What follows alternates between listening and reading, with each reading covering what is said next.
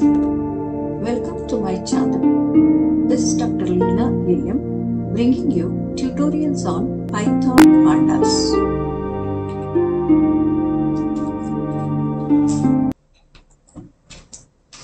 Tutorial 5. This tutorial 5 of pandas uh, series, we are going to learn reading CSV files using pandas.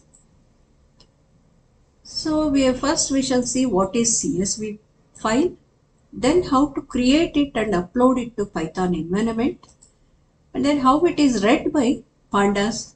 These three factors will be learned in to to today's tutorial. So what is CSV file? So a CSV expansion of CSV is comma separated values. So a CSV file, it is the simplest way to store the big data sets for our data analysis. And it is a text file in which the values in the columns are separated by a comma. So let us consider an example with the file name data and extension CSV. So it is a CSV file having the name data. So this example is shown here. So the first uh, row indicates the column names or the index of the columns. So here we have the first column as ID. Under ID we have the uh, IDs indicated by 1, 2, 3, 4, 5, 6 and second column is name.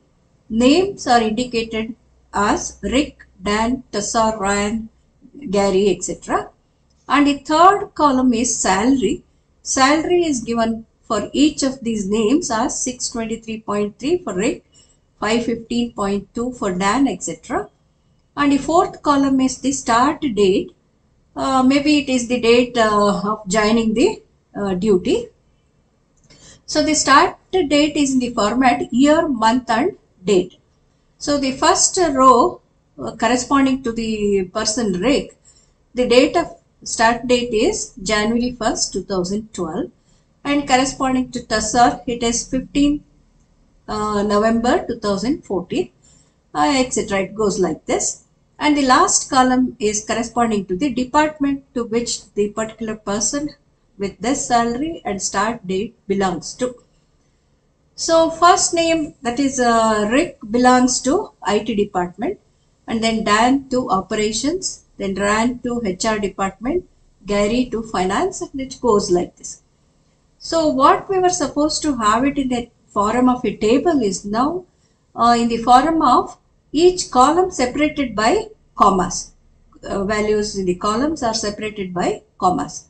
So you observe here each row contains the data corresponding to these column names, column uh, indexes, indices and uh, they are separated by commas. So ID and then name and then salary, then start date and the department. So this is the format in which uh, a CSV file uh, appears. Next, let us see how we can create this uh, CSV file and also upload it to Jupyter, uh, sorry, uh, Python environment. So in the first step, type the data that you have uh, row wise in a notepad and each uh, value separated by comma. So once the typing of the data is over, save this file as a save as, uh, taking this option save as under all files with the ex extension .csv and you uh, put it in any directory of your system. So this is how we save a notepad containing the data with the save as option and uh, under all files with the file extension .csv. Now in step 3 we upload this file to any of the directories using the option upload in the home screen of Jupyter. Since we are using Jupyter Notebook for our uh, Python uh, analysis, we go to the home screen of the Jupyter Notebook and upload this file to any of the directories that are available under the home screen. Suppose if the data is already available in an Excel uh, file, then we need not have to uh, again take it to the notepad. Instead, this Excel file can directly be uploaded. Uh, skipping this step 2, we can directly upload it to Jupyter Notebook uh, environment where it will consider it as an Excel uh, .csv file. So an Excel file is converted into CSV file directly. Uh, it is read as a CSV file by the uh, notebook environment. Uh, so directly upload this Excel file uh, into the uh, Jupyter Notebook environment. Let us go to the Jupyter Notebook environment and see how we can upload, we can uh, read and further analysis of the data.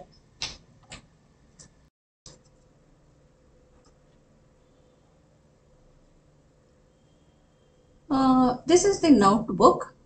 I have typed all the data here in the notebook. You can see that this is an untitled uh, notepad. Uh, in the notepad, I have typed whatever the data that I explained uh, just now. So this I'm going to save with the option save as. Okay. I'll save it on the desktop with the name. Uh, select this all files and give the name as data.csv. So the data file I think already it is available. So I'll just uh, make it as data11.csv. Okay. So I'm going to save the notepad under uh, save as type is all files with the file name data11.csv. So this is in the desktop. So save. Now let me go to the Jupyter Notebook uh, environment.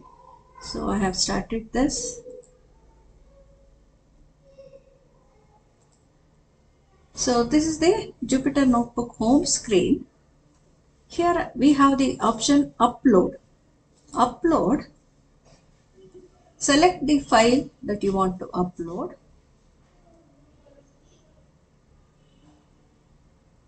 data11 and open. So data11.csv is now ready for upload. So upload this. Okay.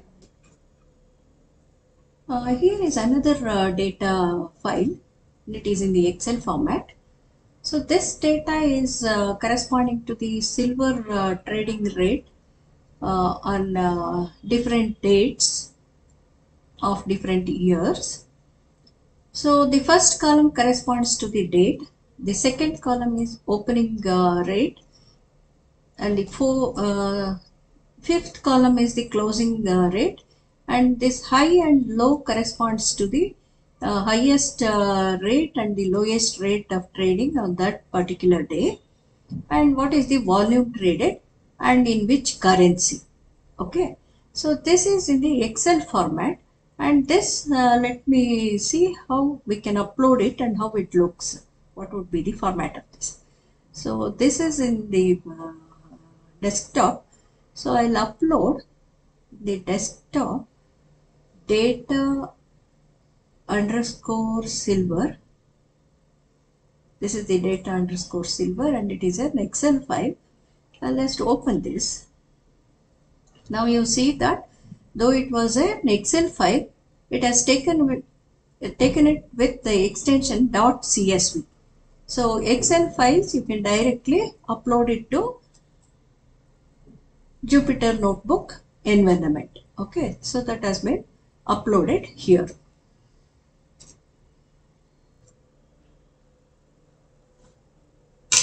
Let us see how to read a CSV file in the Jupyter Notebook. So let me create a new file, new Python file and name it as reading CSV file. Okay. So first step is we must import pandas as pd and then I will read the data with a file name. Uh, data underscore csv form. Okay. You need not have this form. I'll just make it as data underscore 1 okay. Data underscore 1 is equal to pd dot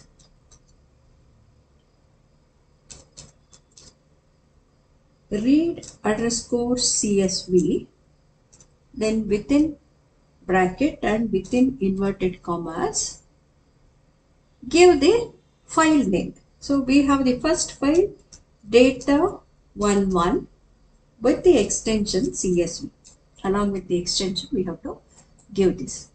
Then i'll ask it to print data 11 okay oh,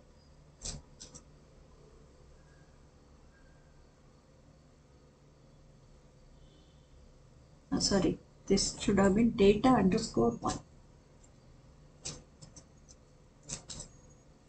now you see our data11.csv file is the one with the id having 123457 then the name rick dan etc with salary data then date of joining and then the department. So each row is indexed with the indices 0 to 1234 etc because the row index is not given here so this is how uh, we read the csv file uh, for further analysis using pandas let me also read the other file that uh, I uploaded in the Excel format. Let me call it as data underscore 2 is equal to uh, sorry pd dot pd dot read underscore csv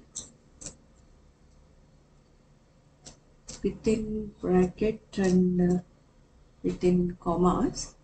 What is the data? Underscore silver dot csv okay. Then print data underscore 2 see here. Data 2 pd dot read csv then the date file name was data underscore silver with the extension in the csv dot csv format. Then i'm asking it to print that uh, uh, data which is data underscore 2 which was the csv file. Here since the silver data was a very big uh, data having 600 6103 data. It has printed only first few rows and the last few rows. Uh, that is how uh, the big data is read with this command. Uh, we shall see more about it in the future uh, tutorial. Okay. So this is how we read the csv file using uh, uh, in the python environment